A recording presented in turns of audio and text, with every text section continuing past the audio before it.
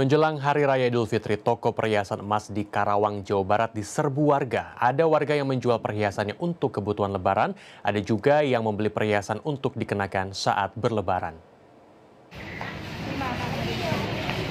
Sejak minggu pagi hingga siang, warga silih berganti mendatangi toko perhiasan emas di Pasar Johar, Kabupaten Karawang.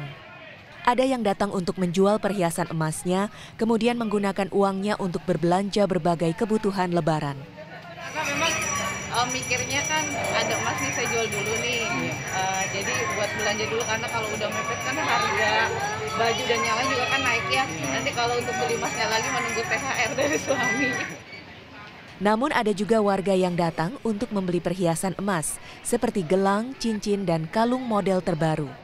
Perhiasan-perhiasan itu akan dikenakan saat berlebaran nanti. Menurut pemilik toko emas, penjualan perhiasan saat bulan Ramadan bisa meningkat dua kali lipat dibandingkan hari-hari biasa. Diprediksi sekitar lima hari menjelang lebaran nanti, jumlah warga yang mendatangi toko emas akan mencapai puncaknya. Nanti puncaknya orang pemuda itu mungkin hamin lima orang akan banyak lebih banyak membeli biasanya berupa cincin, kalung, gelang emas kuning, emas putih. Meski saat ini harga emas mengalami kenaikan, hal itu tidak mengurangi antusiasme warga dalam membeli perhiasan. Tariana, Kabupaten Karawang.